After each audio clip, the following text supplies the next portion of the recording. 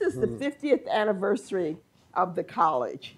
And as we look back and honor our, our history and our legacy, we also want to look forward to what um, this college can continue to do and the place and role it has in this community. It is a gem. Uh, and I, I like to tell people if you live to be 50, everyone except this beautiful young and perhaps this person, these two people are, have lived to be 50. Probably in that category. If you live to be 50, you have had ups and downs in your life, right? But uh, we all hope and pray the ups have been much more often than the downs. And that is the case with Roxbury Community College. This is our community college, um, and we are honored to be able to celebrate 50 years and look forward to the next um, 50 plus years of this uh, great institution. So, as part of the 50th anniversary we, year, we have had a series of community dialogues on important issues uh, facing our community uh, that the college is involved and engaged uh, with in terms of our work and our teaching and our scholarship. And healthcare and health equity is critical uh, to this community, to um, a thriving community. And we are just honored that you're with us uh, this morning as we think about issues uh, impacting healthcare in this community. Health equity and workforce are two very critical components of delivery of healthcare. We're not going to talk about delivery this morning as much as we're going to talk about those two issues. Um, I want to just start by introducing two of our deans who are who lead our healthcare work here at Roxbury Community College. Uh, Dean Sal Pina, uh, who leads our workforce, and Dean Gloria Cater, who leads our nursing program. Um, nursing, um, the, as many of you may know, the governor um, put, um, I think it was 14 million or 10 million in the budget. So nursing is critical. You can go to nursing school here at Roxbury Community College pretty much free. So please, if you know people who are interested in nursing, uh, Dean Gloria Cater would love to talk to you and talk to them. We have a, this morning, uh, what we hope is to have a dialogue. Uh, we are not going to have a lot of presentations. We really want to talk about uh, health equity and health workforce issues and their impact um, in our community. And so we have um, four phenomenal, phenomenal um, panelists that will have a conversation. And we want to encourage you to dialogue with us. So we're just going, I'm going to ask each panelist just a very short, brief uh, question, and then we're going to open it up for conversation. Does that Right. make sense? Makes sense. We're looking forward um, to that, that conversation. Um, our first uh, panelist is represents the Health Equity Compact. Where's Lindsay? Lindsay is there. Our what's your title, Lindsay? Tell, introduce yourself. Thank, Thank you. you for being with us, Lindsay, and the important work you're doing. So we have two. Are you all board members or committee members? We're members. members of the Health Equity Compact, Dr. Claire Pierre and Dr. Charles Anderson Give it up uh, for them. from um, my my Dimock Community Dimock the Dimock Center, not the Community Health Center. Um, we'll start with with uh, Claire and Dr. Anderson. Um, what what do you think are the most critical issues that this group needs to be talking about this morning? Uh, and you all can talk a little bit about the work of the Health uh, Equity Compact. Sure. Let me, um, first of all, thank you. I really appreciate the opportunity to come out and, and have a conversation about something that's really critical to all of us. And when I say critical to all of us, what I mean is that when we talk about issues of health equity, we're really talking about those ways that we make sure that every individual in the Commonwealth of Massachusetts has access, not only in terms of physical access Because it's one thing to have a hospital right next door to you, it's another thing to feel that that hospital is approachable and that you're going to be cared for in a way that allows you to continue to come back and get what those resources are there to provide you. Let me tell you just a brief story because I think this helps, and it's going to be very brief, but I think it helps illustrate this point. I'm the president CEO at the Dimock Center. We care for about 19,000 people, primarily in Roxbury, where there's this huge difference in life expectancy of over 20 years between someone living in Roxbury and just a couple miles away in the Back Bay. Every week, every day, I hear stories that emphasize the importance of this. I'm going to tell you one from just three days ago. We had a gentleman come into our detox. One third of the detox beds for the city of Boston are on this beautiful campus right down the street here at the Dimock Center. This gentleman came in, and through his experience with us, he was clearly getting better in terms of the physical parts of his detoxification, but there was still something else going on with him. And he met with several people and could not really find the opportunity to share what was required to really get to the outcomes that he needed. He then met one of our behavioral health workers who actually spoke his language, who he connected with because this person looked like him and he could engage with. And he went on to describe the fact that in the last three weeks, he tried to take his life twice. That's information that transformed his care that otherwise would not have been received because of this issue of making sure that we have a system in place that sees him, hears him, just like anyone else. So we've come together as a group of over 80 black and brown professionals in the state to say, look, these are critical issues when we talk about the impact of healthcare on not only individuals but the entire system. We need to make sure that we're pushing the state to understand that these gaps in care that are related to the things that I hear every day that really highlight the need for a more equitable system are addressed. So I'm proud to be part of this. I'm going to let Claire talk a little bit more about the compact and our genesis. Sure. And so, thank you so much. Thanks for having me. And I'm Claire Pierre. I'm a member of the Health Equity Compact. And, oh, I'm Claire Pierre. Is it on now? Ah, good. I'm Claire Pierre, and I'm a member of the Health Equity Compact. And I focus on um, community health in my day-to-day work. And I have to say that bringing together leaders of color across the private industry, the healthcare industry, insurance companies, philanthropy, is not just about having multiple people in the room, it's about having a lot of expertise aligned around one thing. And we've known about health equity for a long time. There have been studies after studies showing that people are dying, like literally, um, meaning lives lost, families who are missing someone every single day. And yet, many of us were, didn't know about each other, and we weren't coming together to organize our voices into one platform that clearly identifies priorities. And so I think the first part was having this compact bring us together, and then realizing that these, what we're living now, the results that we're seeing now, came from organized policies, came from organized investments, came from structural decisions. And so we therefore have to counter them with similar processes. And so we worked on a bill, um, and we're, I know you're going to tell us. Um, but we're also looking at the whole health system, not just what policies we need, but also who are the people that should be there so that when a patient comes in, they can see the diversity and expertise that the state has to offer, that the city has to offer in every level of a health system, right? And then we think about how payment is you know, a lot of why we do things is because of how we get paid in the health system. So, are the payments made in ways that actually encourage people to deliver care that's equitable? So, the Health Equity Compact is truly a forum that advocates for structural change and realizes that there's urgency now so that we don't spend our time just talking about the data, but actually move towards action.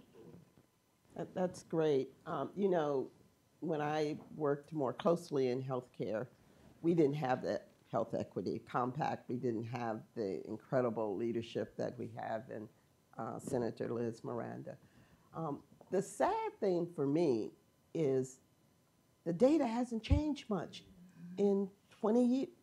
many, many years, all you young people in the room, in many, many decades. Um, doctors, what, what do you think we in this room can talk about so that when we come back 10 years from now, um, the numbers aren't the numbers that we're seeing. All of the indices have not um, moved very much. And it's, um, it's very frustrating because Boston is the mecca of healthcare. We, people come from all over the world to get their health care here in Boston, and yet we can't make a dent. What, what, what, what do we need to, what do we in this room need to think about and talk about? Um, what, what I was saying is that, especially in this room, in this amazing institution, at this stage, we should be talking about these issues of workforce. We really, really should be talking about this because, and I'm being more than just talking about it, we should be really acting on it. Because there are opportunities right now, we look at the just significant shortage in workforce and healthcare. This is such an amazing opportunity to build that workforce up in a way that it hasn't been built private, prior, prior to this. This is the opportunity for us to really talk about and to get to these why. Right? We see these disparities and we have study after study to show that when you have concordance in race and ethnicity between provider and the individual, that there's a different and better outcome. So I'd say in this room, we should be really, really coming up with ways to accelerate our process in terms of how we structure a healthcare workforce that better meets the needs and really fills that gap around equity. Because this is an institution where you've got individuals who are coming here who want to do amazing things in our communities. Let's make sure that we create pathways for individuals to do that. I'd love for us to have a part of this dialogue to really explore how we do that together. That's great. Dr. Pierre, do you want to add, do you want to add anything to that? I couldn't agree more, and I think the biggest thing for us maybe also to break the mold in the way we do this, these pathways. What, whatever we're doing now is great individually as different academic institutions. We're separate. We don't we don't work together. We don't deliver shared degrees. Very rarely do we have shared paths, so that allows people to go from one to another. Um, as hospitals, we can probably do better in terms of training and being more deliberate about that. Uh, we have weird, weird, weird rules, like some jobs require a degree and some jobs So do they really require that? What is the function that's mm-hmm. needed? And can you bring people along where they are? And so I think it will have to be, in addition to what you're saying, to implement the recommendations we're making, we all have to really decide that it's unacceptable that the workforce is not as diverse as it could be. Well, how do we shed our identities and collaborate so that we can get to that goal? That's fantastic. And you, you talked earlier about policy and structural changes. We are incredibly fortunate to have had a state rep and now the our senator who cares deeply about these issues and not just from a theoretical point of view, but from a personal, uh, from her own personal life, lived life experiences. And um, Senator Miranda is tackling these issues at structural and policy levels. So, Senator, do you want to talk a little bit about your uh, proposed legislation? Yeah. Can you guys hear me? I think I turned it on. Okay, Roxbury Lizzie's gonna come out. uh, good morning, everyone. Good to see everybody here. Um, I'm gonna take a point of privilege to to talk a little bit about how I came to actually this work and why I'm so proud to be one of four filers and the main Senate filer of the Health Equity Compact. Um, so in 2017, I was born and raised in this community. I went to John D. O'Bryant, went to Wellesley, came back and spent maybe 15 years in nonprofit leadership, youth development, community organizing, and entrepreneurship. Uh, I had my dream job. I was running a community center up the hill called the Hawthorne, and uh, I was able to work with youth workers across the city. And my brother went to a nightclub and never came home. And uh, Michael wasn't the first person that I lost to gun violence. And actually, when Michael was killed, I thought in my mind how many funerals that I had gone to, and like when was my first friend. And then I remembered uh, my high school classmate, Michael Tavares, was my neighbor. We went to kindergarten through high school together. Um, he had been shot on Copeland Street the summer I came back from Wellesley and just was sitting with this 18 years of growing up in the Dudley Triangle. We had to fight so much. We were already an EJ community um, that fought back and got control over our land. You know, growing up, I had 1,400 parcels of vacant land. I grew up in a household where my mom was a teen immigrant mom who worked in a hotel as a cook, um, who dropped out of Madison Park High School to have me. My father and all my male siblings were incarcerated. And I was living in this space where I'd finally arrived. I did everything that I was supposed to do, right? You go to college, you come back, you give back. Um, and I still wasn't able to save my brother. Um, so, six months after that, I decided to run for office, really pushed. Um, I said no, like in seven different languages. Hell no. Uh, I didn't think women like me, um, even though I had to look, you know, I got to live a life where Charlotte Golar Richie was my state rep. And I just want to say thank you so much for inspiring me. Her leadership, her radiance when she would walk into a room mm. was something that I had been inspired by, but I still didn't feel adequate enough. Um, but I run, I win, and I get to the state house. I don't know how to write a bill, but I was committed um, to work on gun violence. And in the first week on the job, I hear a presentation from March of Dimes about the maternal health crisis. And um, it basically, in short, told me that I was gonna die giving birth. You know, as a black woman, I already came to the state house with all this trauma. And then they tell me that the 10 worst zip codes in the Commonwealth, six of them were in the city of Boston, the others were Bristol County, Holyoke, Chicopee. Um, these are all places that I was familiar with.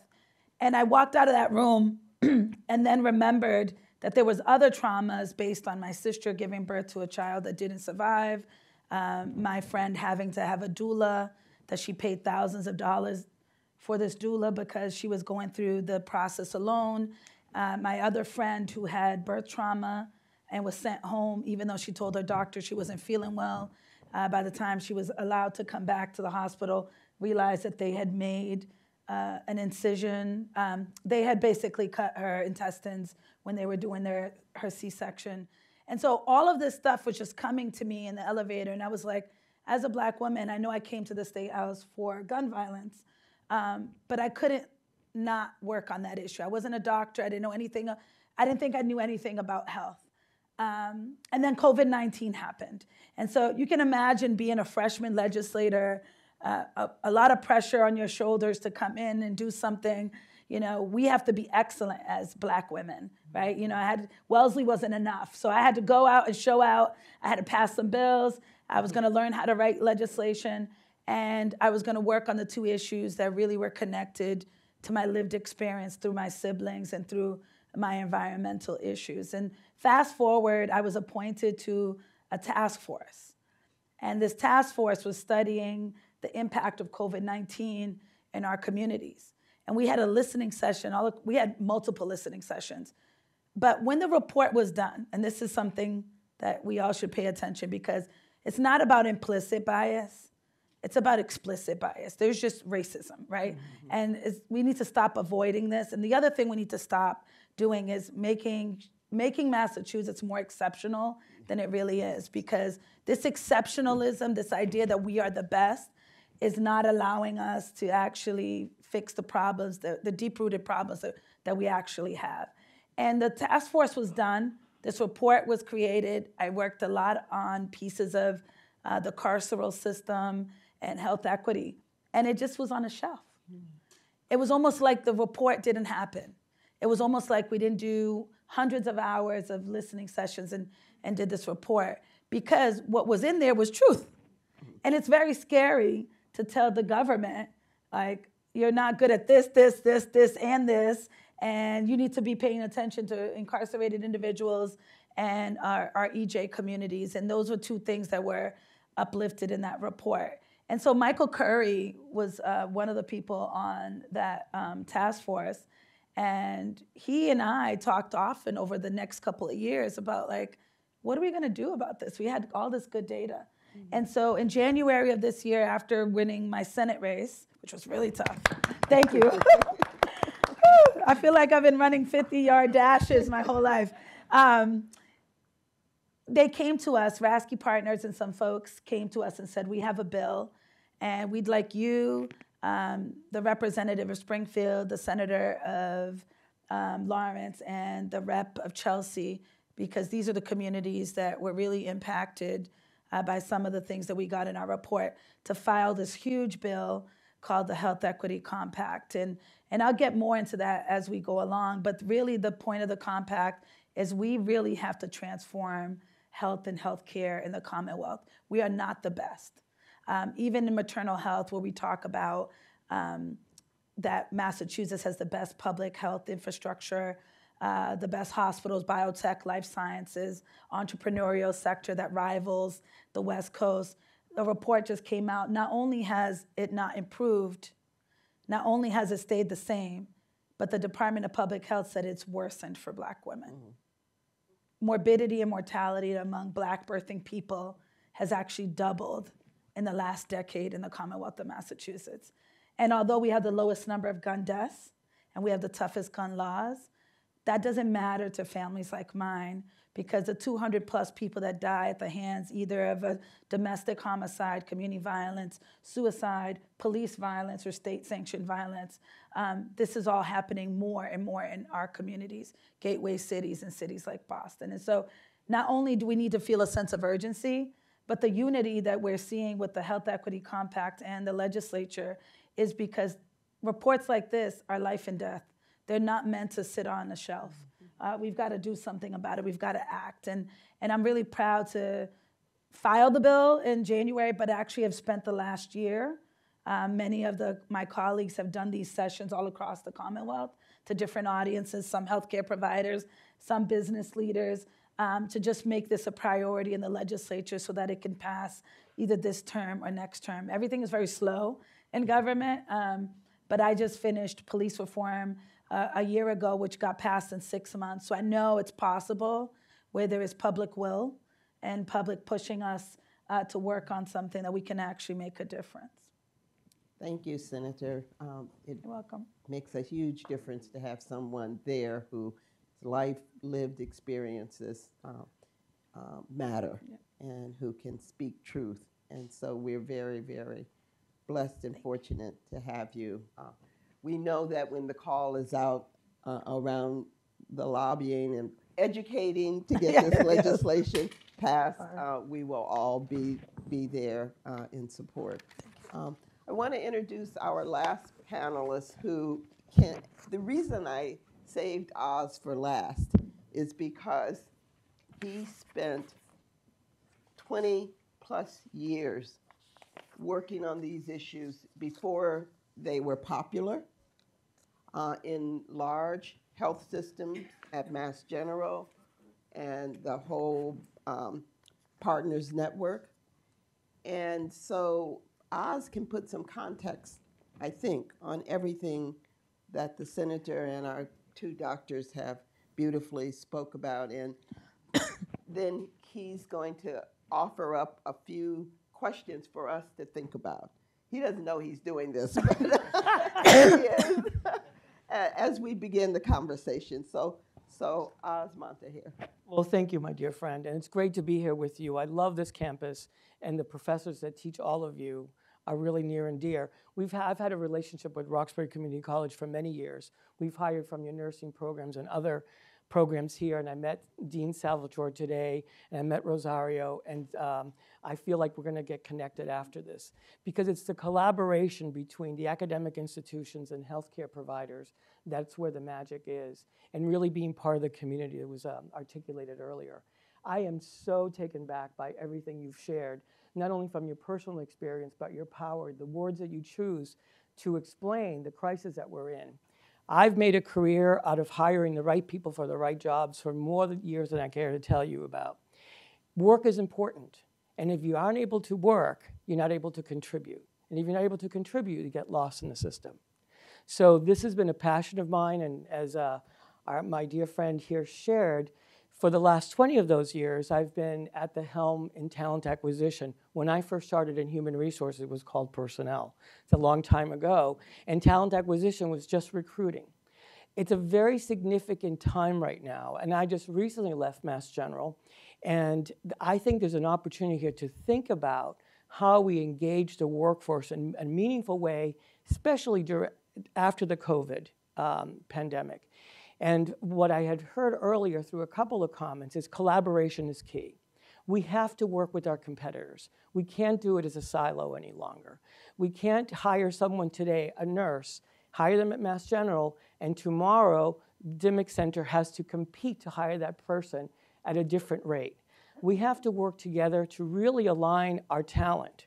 There are many, many challenges before us, and there's a lot of data. A few folks talked about that shelved report. The Healthcare Collaborative, which started in 2016, I had the opportunity to be one of the members there. And by the way, I'm a proud member of the Health Equity Compact.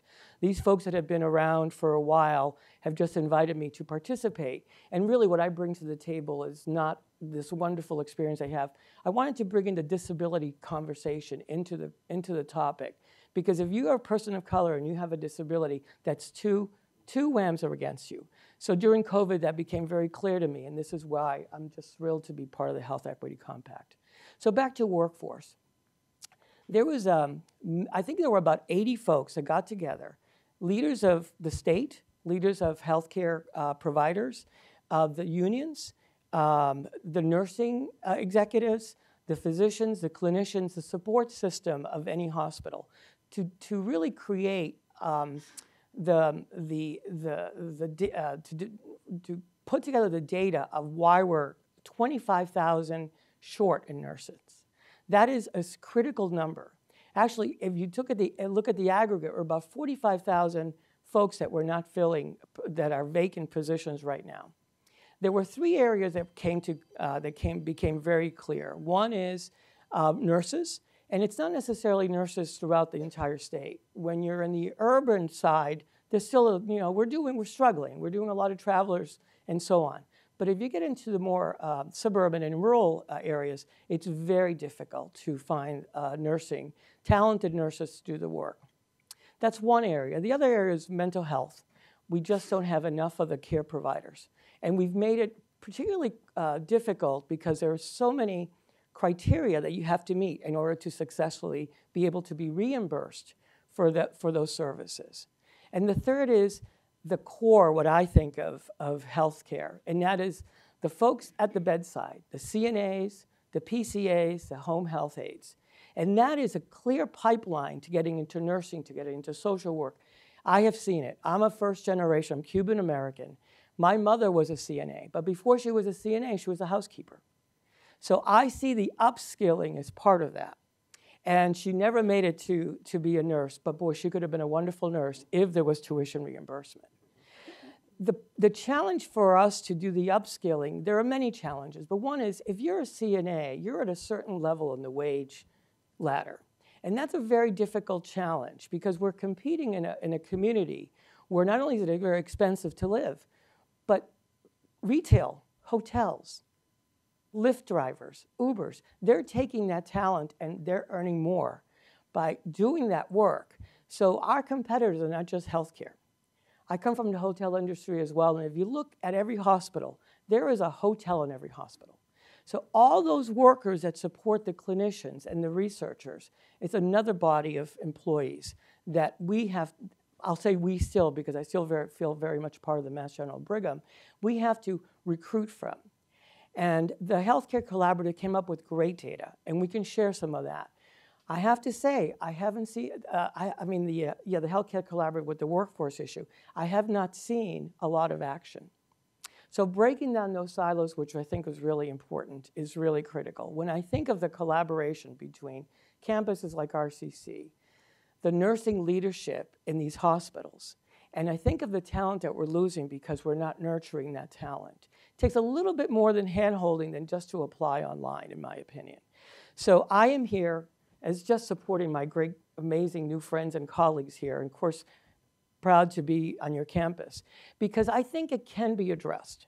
I'm not, I'm not giving up, even after all these years in, in workforce development.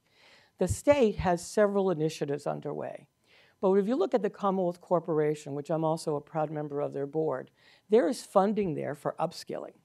There is incredible amount of resources available, But if you're a large organization, you may have the wherewithal. If you're a smaller organization, you struggle to find those connections. So when I think of health equity, the Health Equity Compact, when I think of the workforce development uh, collaboration and workforce in, in, in the report, and I think of academic institutions, there's one other prong to it. In this industry of healthcare, we, it's, it's high touch, but boy, we've gone so high tech that we're forgetting the high touch. So I actually am here to take a little bit of a risk and say we need to augment our human resources eh, departments. We need to bring in folks that support folks that are going through a career ladder, that are trying to find their way. So in my history, which is a long time ago, there were folks that would check in on you to say, gee, you didn't show up for work, what's going on? You didn't get that class cleared, what happened? That takes not only funding, it takes attention. And that is part of the magic. So I'm hoping we'll have that discussion. There were several students here. There are folks that are leading the, the liaisons between the students and then the employers. And I think there's an opportunity if we break down some of those silos and really share talent. I would like to see a day when the Mass General might be losing a nurse because they're moving closer to the Dimock Center, where if someone picks up the phone and calls the Dimock Center and says, hey, you want to you want to call this nurse. You want to have her on your team. That is a little bit of magic that we're not there yet, but I'm still naive enough that I think it can happen. So I'm just thrilled to be here. I would love to have a discussion with you. English as a second language is a big passion of mine. So culturally competent care if we don't hire the folks that represent the communities we serve, we don't provide the right care. And I think I'll stop there. Let's give our panel a round of applause. Oz, I think you stopped at the at the perfect point of who we hire, and that is something each of you talked about having people that um, look like you, on the team. Um, I'm going to open it up now for um, questions, comments, dialogue. I want to say something if I can. Sure. First of all, thank you all for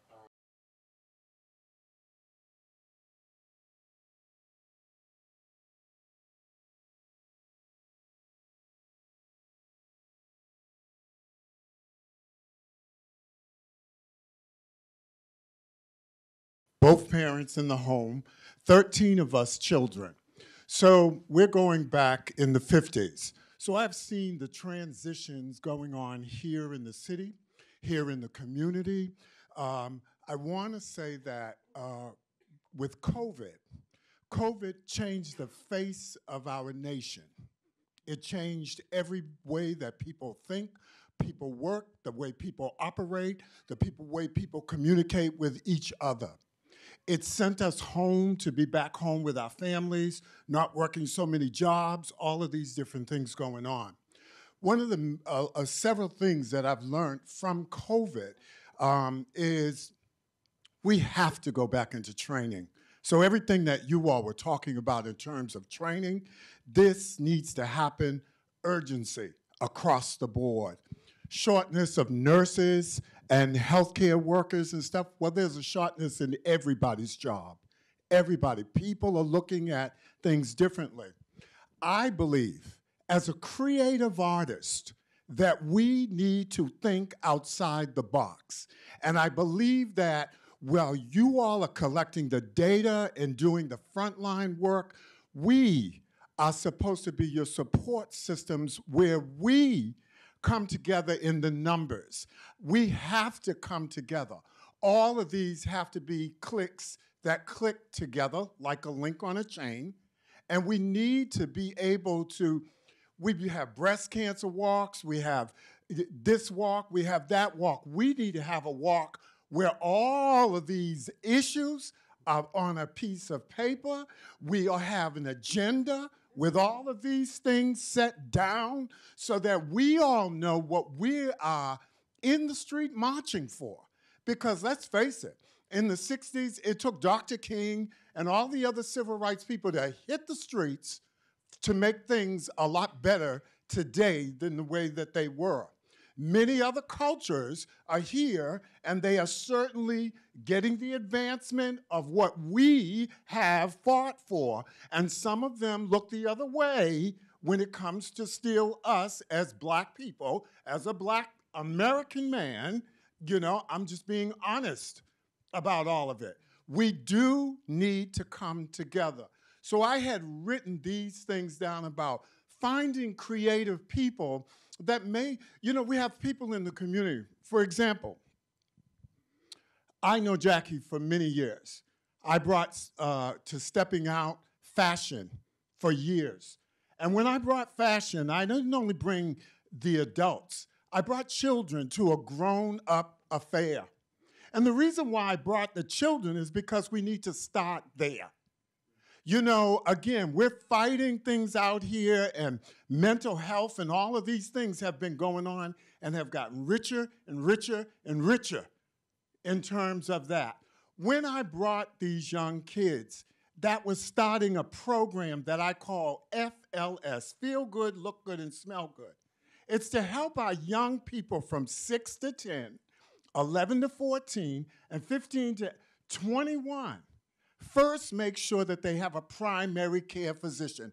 Because how else are you going to be in charge of knowing about your own health personal situation? And yes, we have to go through parents to make sure that's happening, but that's a way, a segue to make these things that we're talking about on the adult level happen in a more form. Because when we focus on these young people. These are our seeds.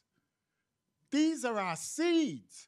And in order for a seed to grow, you have to plant it and make sure that you're fertilizing it and watering it. So that's the nutrition that we as adults are supposed to realistically be giving. So as we groom these young people, not only in the health consciousness, we're grooming them also for their lives, which can help to combat the violence and all the other things. We have a chance to dialogue. We have a chance to be in the room together. We have a chance. We're still using old tactics and expecting different results. That's how I am seeing this. And I say this because I have had the, the honor to travel to every state in the United States and 100 countries. I've seen stuff. I know what I'm saying. So again, creativity is finding other people outside, maybe not even the healthcare, mm-hmm. but there are people in the community that bring together clusters of people. And we have to find ways to get into there and connect with these people to empower on a bigger level. That's my that's my input. Thank you. Thank you, Michael. That's, that was amazing. Any, uh, absolutely. because I think you hit on something really important. And this idea of we can't do the same things and expect different results. So, as we've looked at this at the Dimock Center, one of the things that we realized very quickly by talking to community, engaging, and trying to understand ways to close these gaps, it was very, very clear when I spoke to the folks at New Academy Estates that you got to involve these young people. And it allowed us to think about ways to engage young people by having young people sit down and help us figure out how to engage them. Fast forward the clock, what we did with them was they helped us develop a program to influence the way their community thought about heart health. And with a wonderful partnership with a good friend of mine, DeMar Martin, and his company Wellwithal, we decided that we would train this wonderful group of young people about the basics about hypertension. Right? Now you'd say it sounds simple to talk about diastolic, systolic blood pressure, et cetera. But we really, what we really did with them is we listened. And we gave them basic information, and most importantly, we taught them how to take blood pressure. Mm. And giving them that one tool and that basic information allow them as neighbors to talk to their neighbors in these amazing interactions where they would do blood pressure screening. I talked to them recently. these young people were driving people crazy over there at New Academy Estates, talking about talking about let's make sure your blood pressure's checked, let's make sure you're taking your medication, let's make sure you're not putting too much salt in the food. And this started with a group of eight young people aged 12 to 18. No advanced degrees, not thinking about all the certifications required. But this is how we really look at creatively ways to address health equity. Let's empower people who we really haven't thought about as being part of the system before. Let's empower them with the tools required. And I already look at many of them, I see future doctors, Yes. nurses, behavioral health specialists, et cetera. But that was just a pilot for us to understand how to engage young people in ways to address many of these big issues. So I thank you for that reminder um, of the importance of engaging young people. Can I jump in on that? I shared that I was a, a youth worker for many years, but what I didn't share was that I also was a part of amazing youth programs as a, a 14, 15, 16 year old girl in the city. And those programs really saved my life. I was a latchkey kid. My mom worked 16 hour days. And so if it wasn't for the Orchard Park Teen Center or the Roxbury Boys and Girls Club or My Town or Teen Empowerment, I don't know where I would end up. Because oftentimes we don't know we can be something unless we see it. Um, and one of the major problems in our workforce today is because we haven't built the pathways and pipelines for kids that grow up in the city who attend our public schools to be able to have meaningful careers um, that they can take care of their families. We see a huge, huge uh, issue with high school graduation, and even in the city of Boston, and matriculation in colleges. And then you see a huge downfall in graduation rates within four to six years. And so kids from Boston are not only not choosing to go to college, but many times they're not finishing. And we can't have the Harvards and the Wellesleys and MITs, the RCCs of the world um, here in Massachusetts and stay we're world leader in education, we're the mecca, when even our own children don't get to access that. So one of my first jobs was as a peer leader. And um, this is why it's important to study explicit bias and racism. Uh, when I was in OP, I didn't live in OP, but I lived next to it. And every day I'd walk through the projects to go to O'Bryant and made a lot of friends there, so I got a job there. There was a community health center in Orchard Park Housing Development. So for those 2,500 residents, um, many elders, many young people, they had somewhere to go right inside of the housing development to, to take their blood pressure or to, to check their eyesight, or if there was an acute emergency, something that didn't require sort of surgery, that um, they could be there. But I also learned a lot about sexual health. And there was a lot of money in sort of anti teen pregnancy programs. And being the daughter of a teen mom, she did the best she could. She was an amazing mother, but I didn't want to have a kid at 17. Um, I learned so much in that peer leadership program that I didn't learn at home. Cape Verdeans don't talk about stuff like that. And so when you grow up, you're like, here, like, we don't want to talk about reproductive issues. We don't want to talk about sex. God forbid that, right? Mm-hmm. So the idea is that like the programs not only inspire you to want to be other things, but it actually educates you. And young people teach their families. You know, we go back mm-hmm. home and we talk to our grandparents and we talk to our parents about things that we learn. And so we know that there's a huge problem and a disconnect. And utilizing young people, I think, is a great strategy um, because we need to fill these jobs, but we don't need to just import people to fill these jobs. We have uh, great young people and young adults in our city. And mid career people that want to change careers, that's the other thing. That there's a lot of 50 year olds, 55 year olds, you know, and part of my work, I get a lot of phone calls of folks who want to be a part of the solution, but the training and the upskilling is a big problem um, with folks, particularly those that are that speak another language. They're not being promoted or given the opportunity to seek different opportunities in these uh, workplaces. Oz, you wanted to add to. I, I want to listen for- to all of you. So, so I would just add that if you look at the leadership of the healthcare industry, I want to ask those leaders, when was the last time they stepped into a high school?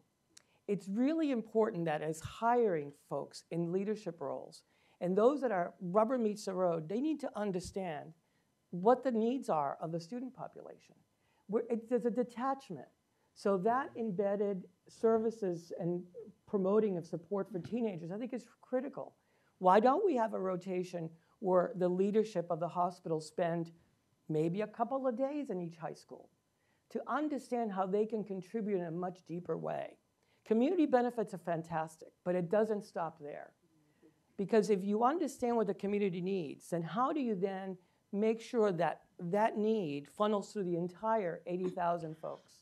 Because it's really important that there's a connection between what the doc- Dr. Claire does here in the community, and then how do you implement it at each of the sites? So, Dick, you know, when you put out a policy, sure, everyone listens to that policy, but how does it get embedded? You have to feel it, touch it, see it. And I do agree. I so appreciate what you said. I'm one of those teenagers. I would have fallen off the face of the earth if I didn't have a job and a mentor. Someone that cared enough to say, You're not doing well. I was working at 16 and failing high school in Brighton High. I was one of the kids that was bussed. So that's how old I am. There's it goes. But the bottom line is that I had someone that cared. Single parent, you couldn't do everything. Someone cared enough. Now, we can't do that for everyone, but I think in, in, in aggregate, I think we can definitely address some of this. I think it's terrific. By the time you're 15, if you don't have some sort of pathway, you're already falling off, no matter, no matter what community you come from. And so I think there's an importance there. Plus, it's selfish. If you're an employer, you're already nurturing and you're already orienting and you're already guiding that person to work within your structure. So by the time they graduate from high school, they know the manager, the manager knows them, the, the clinical nurse knows them. And then so forth, there's an investment of human touch, which is, I think, what we're missing at times. So I think, I think it's really important.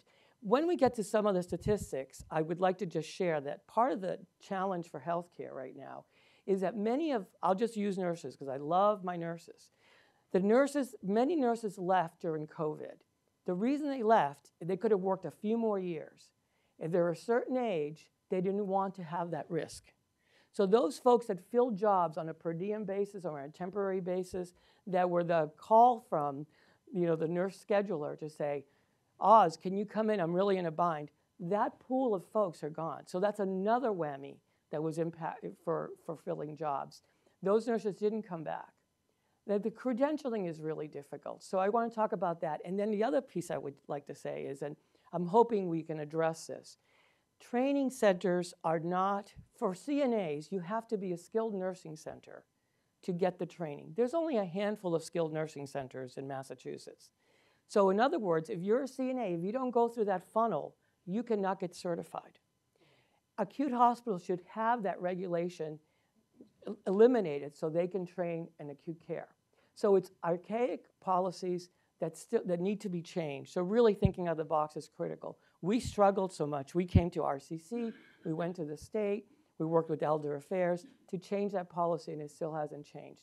So, if you're a CNA, in order to get certified, you have to go to a skilled nursing center. Not all skilled nursing centers are training centers. So, I think that's just one area that we need to address. Thank you, Oz, for sharing that. One of the things, lessons I'm hearing is, you know, a lot of times the old strategies that were used weren't bad. You know, we got rid of a lot of youth programs um, for in the last couple decades, and what I'm hearing from each of you in your own way is let's bring back some of the old strategies and start start young. Other comments? Yes. very glad to be here. I'm learning a lot, but uh, there are so many issues at Mass General. We never talked. I was in a leadership program, and we never talked about health equity, never. And um, CNNs just became CNNs in the past ten years. That's a new area for them. And then we also have the issue of um, mass and CAS you know, that's a very big problem for health equity. So um, I'm glad to learn about health equity here and to learn about what people are doing to um, promote it. Thank you. So I'm from Haiti originally and um, came to the US at 15 and trained at Howard University and came here and I was so excited, the best place, I'm gonna be a Harvard resident, et cetera. And I wasn't exposed to a lot of the health equity and community health issues. And, and when I chose community health, when I would go to the top hospital leaders and say that's what I wanted to do. They said, Don't you want to be a doctor? And I was like, I am a doctor. I just want to be a doctor in the community. And people couldn't even, they just didn't understand why I was destroying my career, basically. Mm-hmm. And so I think we've come a long way, though, now. I think, you know, as I'm looking and listening to us, I hope that we can build on what we've learned. And I have to say that within my, you know, career, I have seen, and, and I, I shouldn't say this, but I actually look younger than I am. I'm about to celebrate 25 years of being a doctor. I do. And so, think one of the, the big things I've realized is that we've come a long way. For one now, um, I'll take Mass General Brigham because you made the comment about Mass General. Um, we, two years ago, took a pledge to be explicitly united against racism. And it seems like a thing that everyone was doing, but it's actually really hard. We had to have our entire leadership team say, we are united against racism. It's everywhere, there are policies. What our priorities are are linked to it. And it comes with three separate pillars. It's who we are. How are we hiring people? How are we retaining people? How are we promoting people? And that means every leader is held to think about these three steps, right? And then we have a group looking at the data to make sure we are moving from whatever number we're at to another number. So it's not just a commitment in words, but a commitment in action. And then the next is looking at our patients. And you would think that, you know, we're a health system. So we want everyone to have equitable care. So if we find that someone or a group is dying younger or having more bad outcomes, it'll be an easy conversation. I'll just be like, oh my gosh, you know, nurse so and so or surgeon so and so, I'm looking at your data and it looks like there's a trend. What should we do? Right?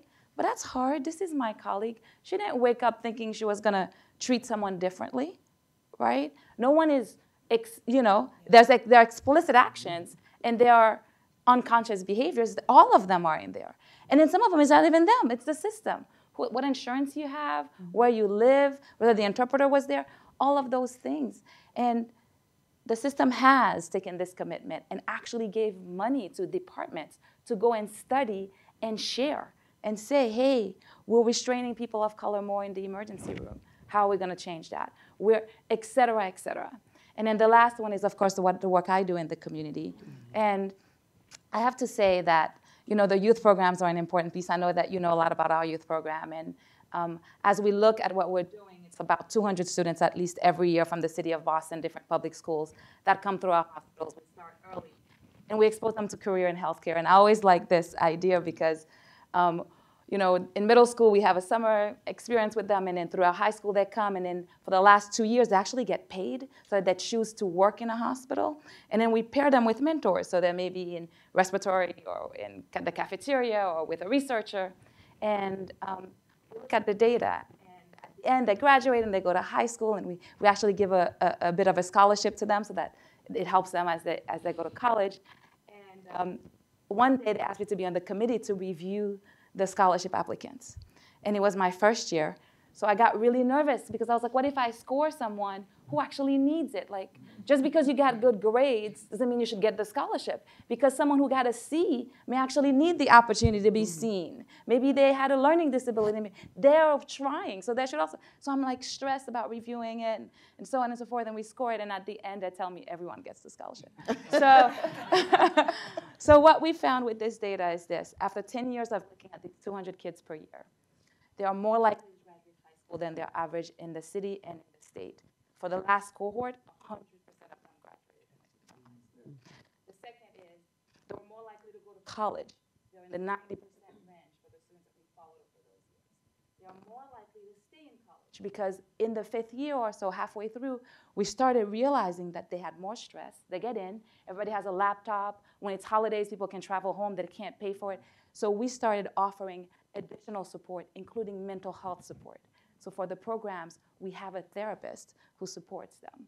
And we started to look at all of this, which is where you're saying we should be creative, which is it's not just the hospital, because if you ask a hospital, they don't have a therapist for high school students going to college. But we needed to have that in order to really invest in them, whether or not they were going to come back to our walls.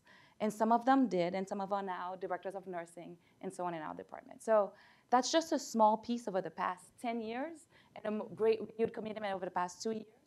But it's not enough. And that's why I'm saying I like that the Health Equity Compact is saying that we need to make that maybe a requirement for every hospital, or maybe not just every hospital. We're number one in life sciences. Should it be a requirement for every pharmaceutical company? Does that make sense? The idea is that we should think bigger and better as thing. It just made me think of um, so the program SSJP. I go to speak to it every year, um, and I think every hospital institution should have something similar. I've talked to the young people, and one of the things that come up all the time um, is that it's just like an apprenticeship in a union. You get to actually see what makes a hospital run. And so they're able to see 30 different fields in a short period of time. So they, they, they could be in healthcare administration. Um, they might want to work in OBGYN, um, but they would not know these things existed if they didn't have these apprenticeships throughout the year. And I want to say something about the health equity space thing. We have to get to a point where equity is just not a buzzword. And the reason why the Health Equity Compact was filed, and this is an important piece, is we have legislated harm in this country, in this state, for decades and for generations. And so, in order to rectify the harm that has been legislated or not discussed or not taught, um, we have to actually put it in legislation. And the most exciting thing about the Health Equity Compact is to create a cabinet level Office of Equity. Um, that is super important because we've realized that health is actually connected to every other piece of legislation. I also filed legislation on sickle cell, and I just want to share this quick story. Um, I didn't know anything about sickle cell. I didn't know that black people are predominantly uh, sickle cell patients um, until one of my friends said that her whole family had the trait. Sadly, her sister just passed away. Um, but many of the folks out of the Massachusetts Sickle Cell Association, we have Vertex in Massachusetts that's leading yes. nationally, okay? Leading nationally right here in the city of Boston, and still was a disconnect between patients, hospitals, and this national leader. Um, one of the young men came and said, You know, we're in excruciating pain all the time, but every time I go to the hospital, they think I'm chasing meds. Mm-hmm. They send me home, they tell me to take Tylenol. I'm literally dying of pain because so many doctors and nurses do not know about sickle cell disease. And so we have a national leader here, we have national hospitals, and we have a disease that's predominantly impacting people of color. And yet, every time they, they're use, using the emergency room or primary care doctors, they believe that they're chasing pain meds instead of actually solving their pain because they think black people can handle pain better. So these are some of the ways in which um, sickle cell is just one example, but um, there's a huge issue with understanding that diversity and equity are not the same thing equality and equity are not the same thing. Some people need more. And, and that's what we're trying to do with this legislation. Excellent. Thank you. We promised to get you out by 10. we could go, this conversation could go on for the next hour. We're very, very blessed to have these dedicated uh, practitioners and uh, politicians, politician uh, who cares deeply about these issues. I'm going to ask my colleague Marta Rosa just to summarize what she heard in terms of potential rec- recommendations and strategies. Marta, you have uh, one minute. that was more like one second. Um, so the the first, thank you so much. This was absolutely fabulous. Um, there's this sense of urgency. Did you feel it? Yeah. How many felt the urgency? Yes, Ex- excellent there's a need for action, right? Need for action to ensure not just access but equity in healthcare. That's what I heard. Um, this life expectancy thing, critical. Our people are dying. That's the urgency. It's not just about providing care, it's about making sure our people are not dying, right? There's hope. Claire, you gave us a little hope over here. Um, the, the expertise that's aligned um, on ensuring movement on health equity and access right now with you all and the, the compact and all the institutions that are involved. Um, but then uh, also reminded us that there's a need for shared pathways and degrees, and a need to change old structures that don't work anymore, and a need to maybe pull out some of the things that used to work really well, right? Did you hear that? Yeah, there's a need for the health industry to decide that the workforce needs to be diverse, racially diverse, and in all ways diverse. And I have to say, the lived experiences that you've all shared, let's use our lived experiences to dig into our passion so we can promote more action on these issues. It's not implicit, it's explicit bias, racism. Let's not mask it. Did you hear that? Can't mask the, the racism that exists in our communities. So that's confronting the hard truths, right? And we in Massachusetts are not the best, you all. Did you know that? Did you all know that? We're not the best. Um, so that's a reminder of the urgency that we have to feel to work on these issues. It is about life and death right now in communities of color. Oz reminded us that it's collaboration that's going to get us to a better place. Aligning our talent is critical. 45,000 vacancies. 45,000. That's a lot of jobs, you all, right? So building those pipelines are, are really important. Um, and who gets hired matters. So I'm going to share three things, Jackie, and then I'm done. The power of our lived experiences and truth telling, critical. The need to call out explicit bias and racism, critical. The magic of figuring out how to share talent and make connections and strengthen the relationships across agencies, across individuals, across uh, industry. There is a role for everyone, you all. And so identifying that role is critical. Collaboration is key. Can't do the same thing expecting a different result. That is the definition of insanity, right? If you look up insanity, actually, I think that's what it says.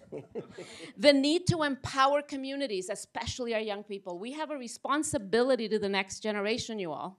Did you all get that? It's, it's a big burden, right? Didn't, I felt that burden.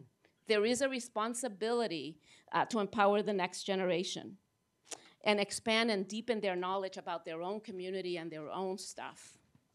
And the last comment I'll make think out of the box. Claire said, think out of the box.